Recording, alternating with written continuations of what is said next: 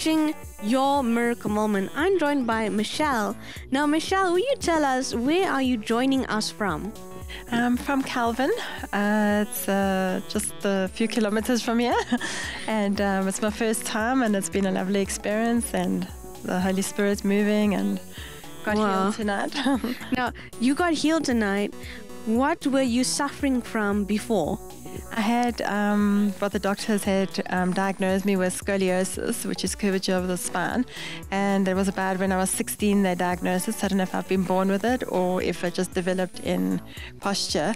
But I'm now 44, and I've been living with it all my life. And Wow. tonight I just came forward for healing. You have a curved spine. Let's fix your spine. Just come and feel a spine. I just want to see you. Were born with a curved spine. Is that right? Set your hands towards the come. God's going to make this young child perfect. Pray, pray, lay hands quickly. Father, in the name of Jesus, I command the spine to become normal right now. You devil, you devil that's curving the spine, let go. I command the spine to straighten in the way it should normally lie. I curse every abnormality. Wow!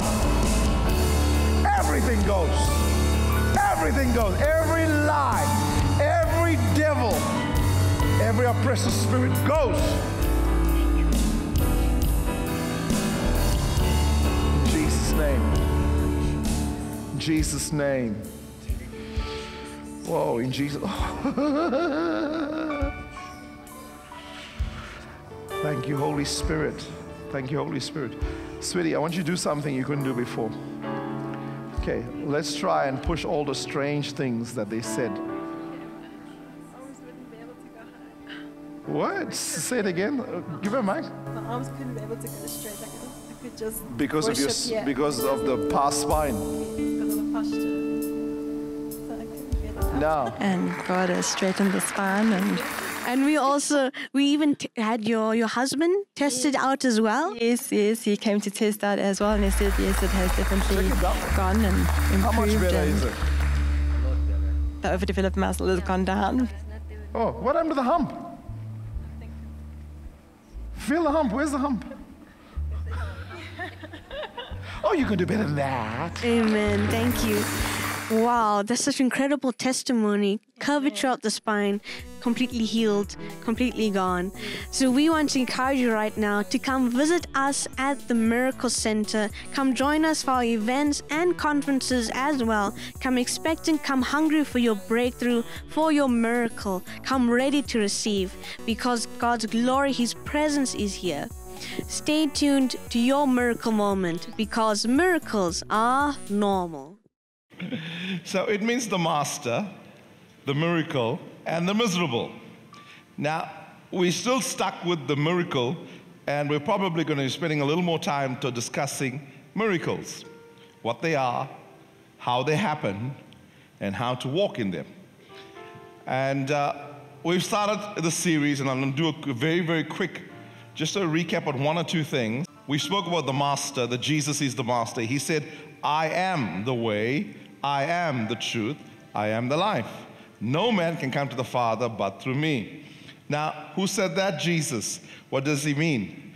He means there are many, many uh, uh, things that you could worship. There are many different religions on the earth. Uh, uh, there are many different deities on the earth. But the only way to get into heaven, if heaven is your destiny, the only way to get into heaven is through Him. Who said that? Jesus. He said, No man can come to- the Father but through Him.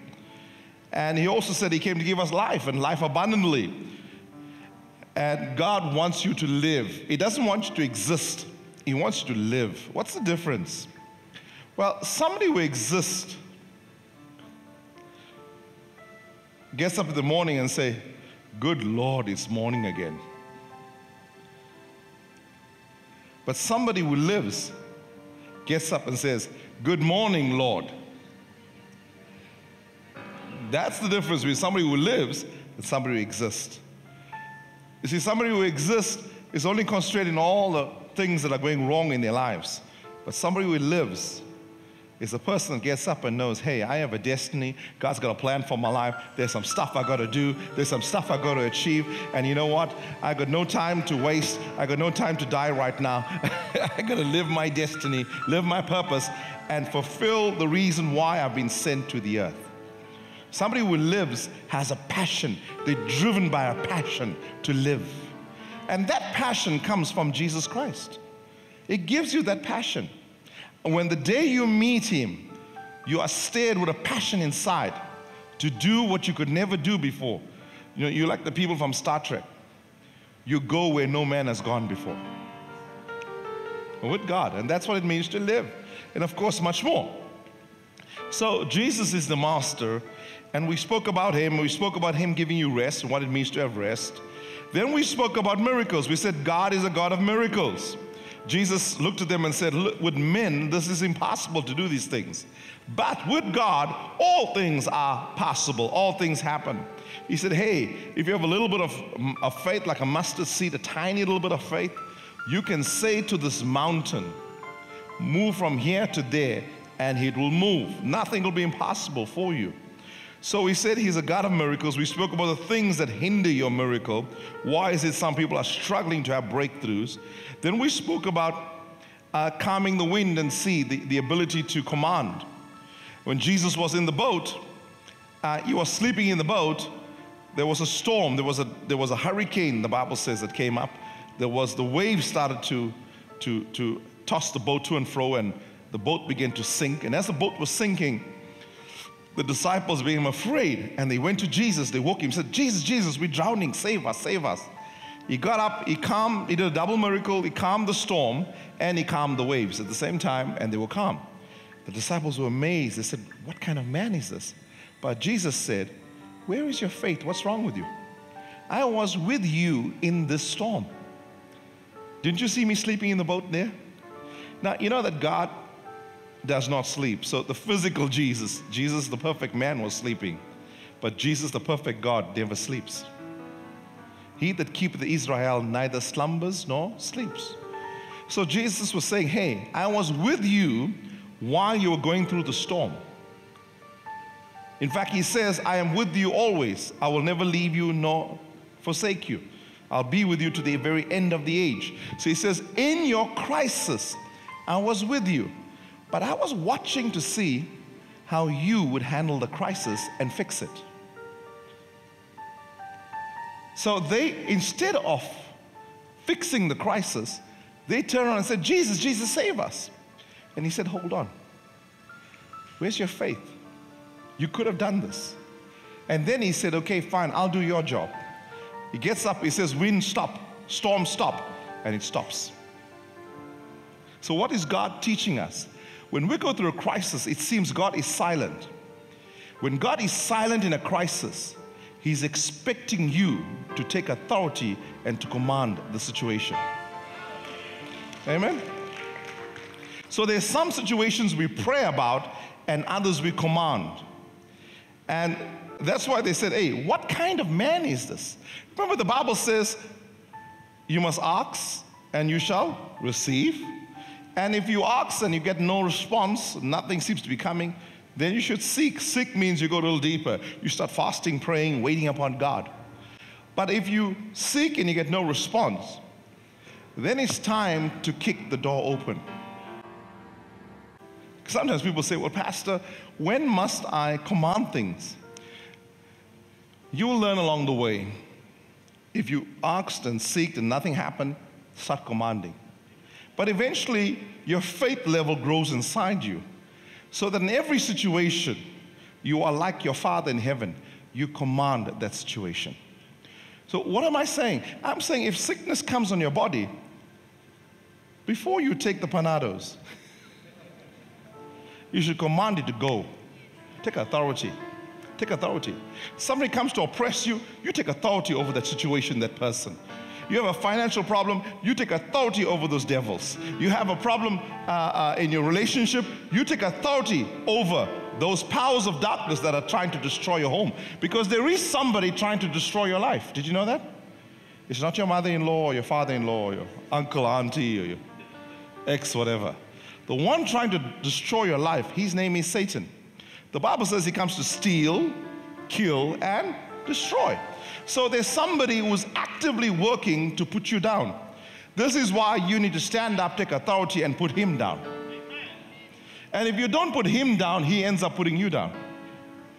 Are you with me? So Bible says, hey, there's stuff in your life that you go through, you need to take authority and command it. Because Christ is inside you. So when you command, it's actually Christ's power through you making the difference. He takes authority. But when you speak, amen?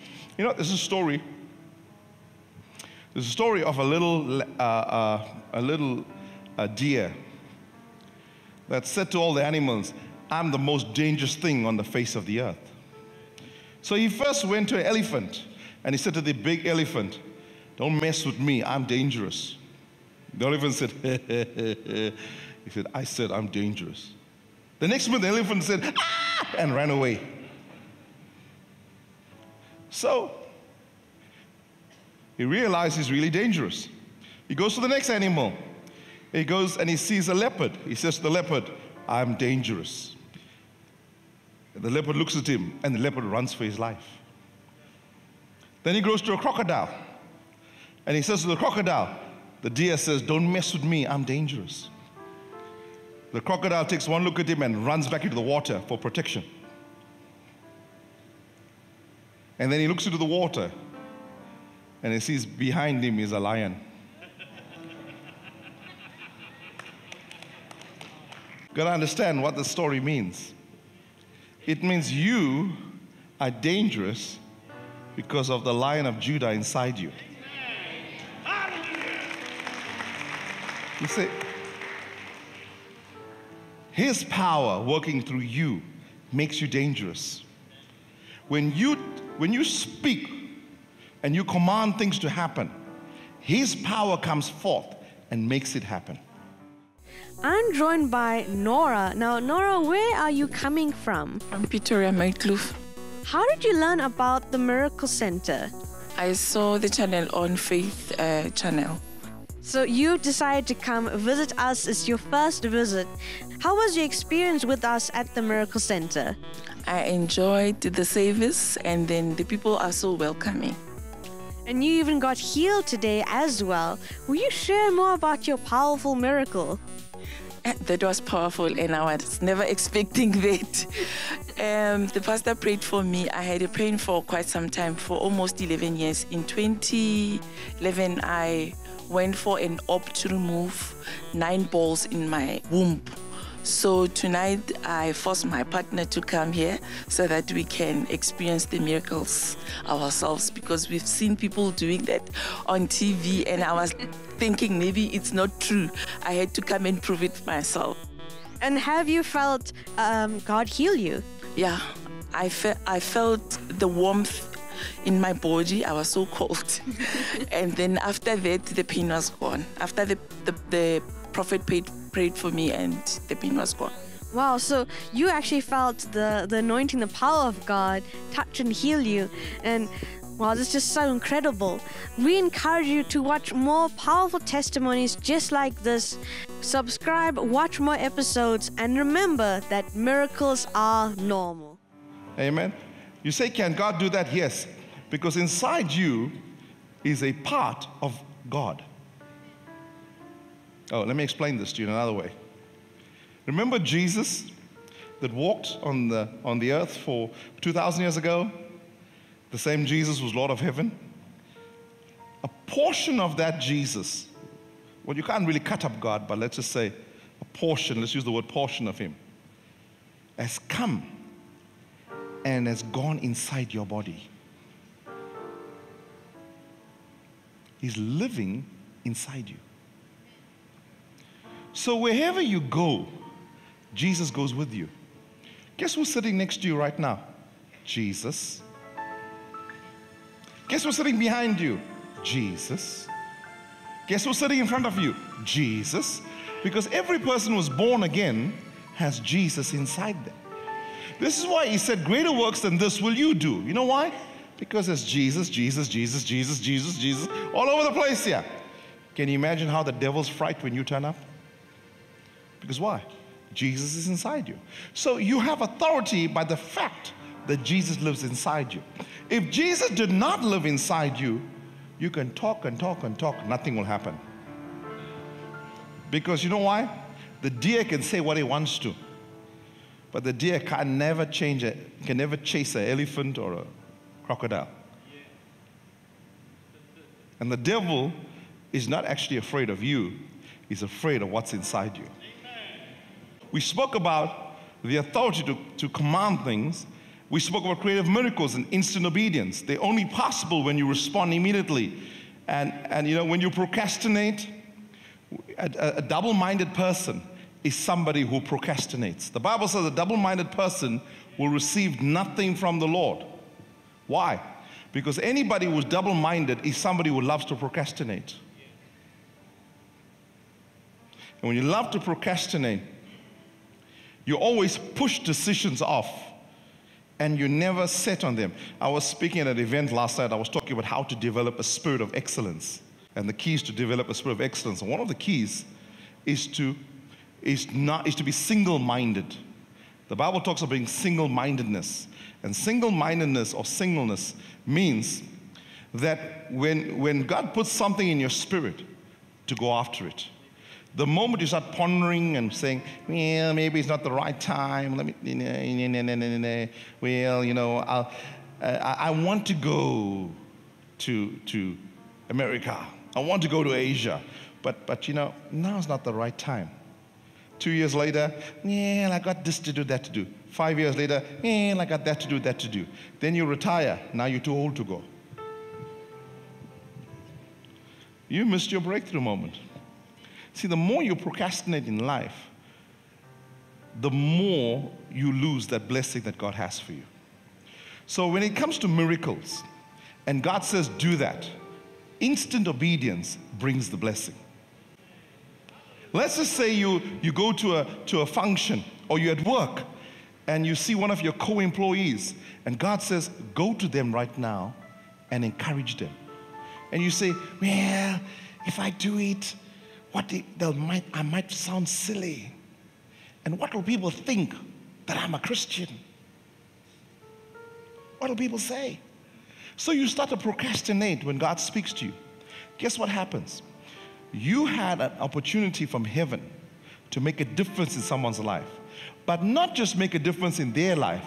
God wanted you to open the door for Him to bless you. So, because you procrastinated, you lost an opportunity to touch another life, but you also lost the opportunity for your life to be blessed. It's like when God says, Hey, see that person there? It's Christmas time. Go and buy them groceries. And you say, Well, give me another message, Lord. Can I have a confirmation? Let me, let, let me wait upon you for the answer. But you know, God spoke to you.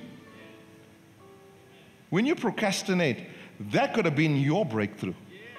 Because when you bless someone else, you open the door for God to bless you. But because you delayed it, you delayed and delayed, you stopped your own blessing. But by procrastinating, you missed a miracle moment. Amen? So it's the same when we minister. And let's say there's a word of knowledge, and, and, and, and, and whoever's ministering up here says, Hey, someone here has got a problem with their, with their chest, they've got a pain in their heart. And you say, Yeah, I've got a pain in my heart, but maybe God is speaking to somebody else. You know, let's see if anyone else goes. Uh-uh. When you procrastinate, that window opens and then it closes. When it closes, you actually missed your breakthrough. See, what do you mean by that? See, there are three ways God does miracles in. But one of the ways He does miracles in is in the glory dimension. Now, the difference between the glory and the anointing is that in the anointing, you must have faith. Without faith, it's impossible to please God. Without faith, you can never have your breakthrough. So even if you're expecting God to heal you of something, whatever it is, you need faith to get healed. There must be a level of faith in the atmosphere. If there's no faith, then you'll miss your miracle. If you're not ready, you know, if you, you say, well, let's see what happens, nothing happens. you must have faith to get healed. Amen? You've heard that, right? You've been taught that. But there is a way to experience a miracle without faith.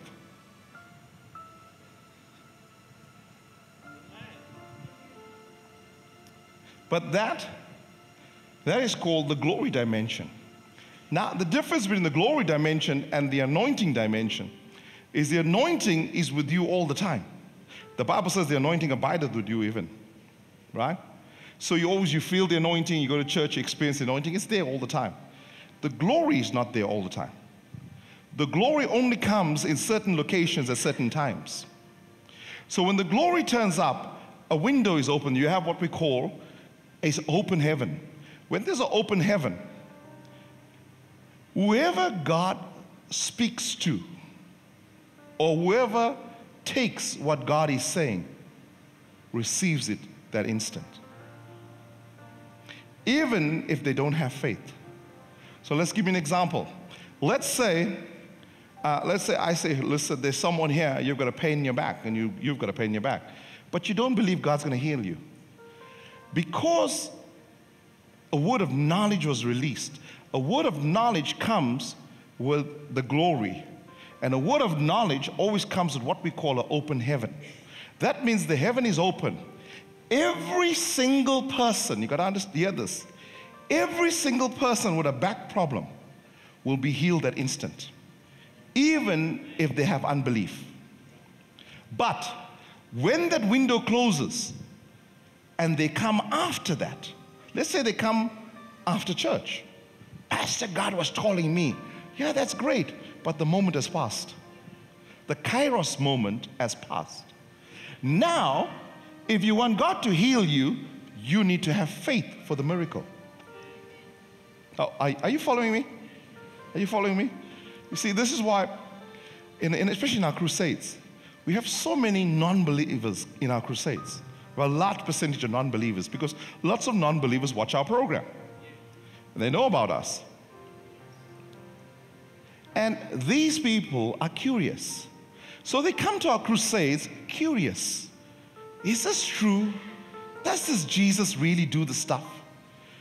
And when the word of knowledge is released, they're the first ones to respond. Now they come to the front with no faith in Jesus. They don't even believe Jesus is going to do it. They're just coming because there was an altar call made for their condition. And guess what? They all get healed. And once I had a lady and I said to her, she had a problem with her leg. I said, Do you believe God will heal you? She said, No. I said, Well, whether you believe it or not, you're going to get healed right now. Pray first, you got healed. She said, I can't believe it, I'm healed.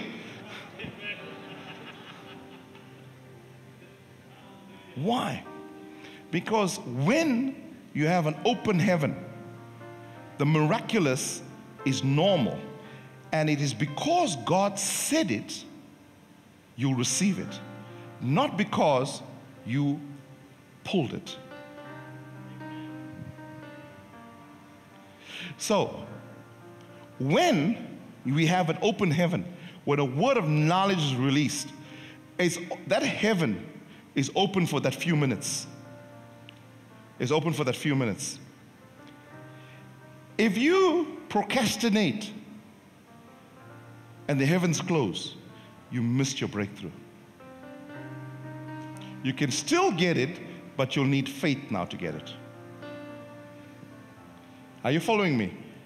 So, an open heaven happens not only in church, not only in church.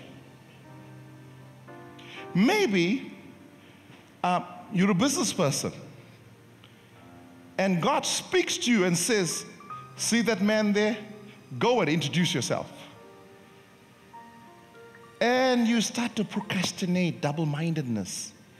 Yeah, should I do it? Maybe you think I'm too pushy.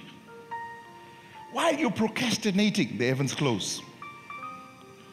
You missed your breakthrough. Because if you had obeyed instantly, there was something God was going to give you through that instruction. You see, God never gives an instruction without a reward. Never. Every instruction God gives has a reward. So when we talk about an open heaven, when we talk about instant obedience, it comes with a reward because instant obedience is how God works, you know. He is it's how miracles happen, creative miracles happen, instant obedience. So the next time God speaks to you, drop everything you're doing and obey.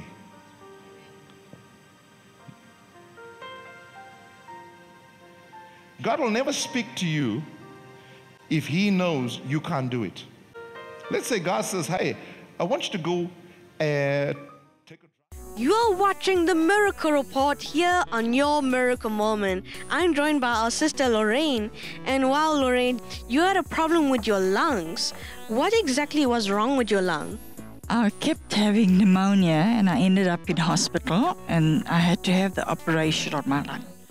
And I've been having problems with the drain and the operation. I've been having pain. And whenever I went to the doctor, he said to me it was scar tissue. But I came here and got Pastor Siva to pray for me and I was healed. I can go without any painkillers and even if it's cold, I don't have any pain on my lung anymore. How long has it been since you've been healed? It was on the 2nd of October. Yes, about that. And no more painkillers. No more painkillers. So I thank God and I give Him the praise and glory. Amen. No more pain, scarred tissue healed from the operation, no more pneumonia, healed and touched by Jesus. So we want to encourage you right now to stay tuned to your miracle moment. Keep on watching because miracles are normal.